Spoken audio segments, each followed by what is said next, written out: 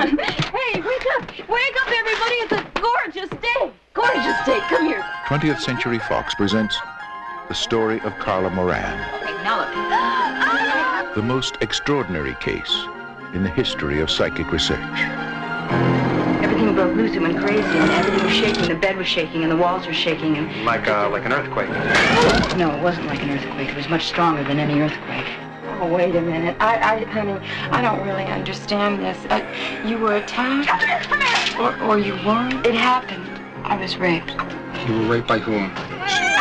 I don't know. There was no one there. A team of experts will investigate her life Why does he attack you, Carla? Not anyone else. Why is she going to such lengths to support this delusion? And they will find more than evidence.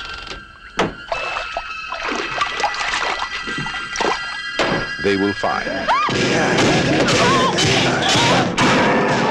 the entity.